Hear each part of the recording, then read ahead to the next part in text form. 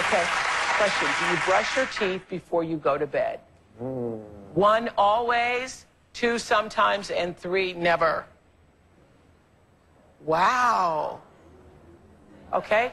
That's actually pretty close to the national average. 43% of women, of women say they don't brush their teeth before they go to bed at night.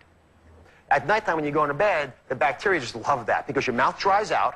Mm-hmm. They start to invade into the teeth. And I'm not worried about cavities. I'm worried about gingivitis, which is the number one cause of tooth loss. But it also, unfortunately, is a major driver of heart attacks, of strokes, all, because your body's creating a civil war inside your mouth because you didn't go in there with the scrubbing police and clean it out. So two minutes is how long you should brush your teeth. Mm-hmm. Make a game out of it. Put your favorite tune on. Dance around. Make it happen. And that's gingivitis. See that little red area?